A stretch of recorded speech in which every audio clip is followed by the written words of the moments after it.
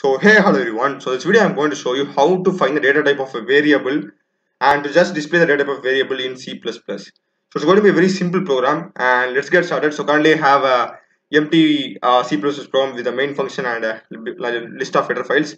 So before going to this video, it will be really great if you subscribe and support my channel. So thanks for doing that. And now let's get started. So first let's declare our variables. So let us have int v1. Let us have float uh, f1 let us have like char a and let us have a double d okay? Let us have like this. So simple function to display the name of the data type of variable is typeid okay? typeid we have that uh, function inbuilt function okay? So let's just put a cout c out type id okay? typeid and the bracket we're just going to put the variable name. So i will put v dot name okay so this is the syntax okay?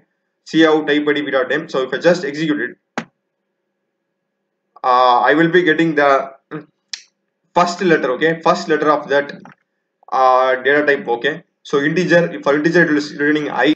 So now let me just uh, copy all this stuff okay? I'm just copying it and pasting it.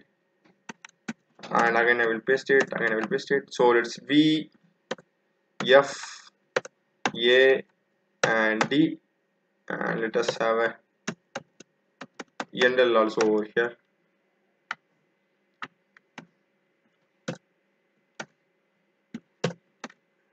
So like this. Let's run it.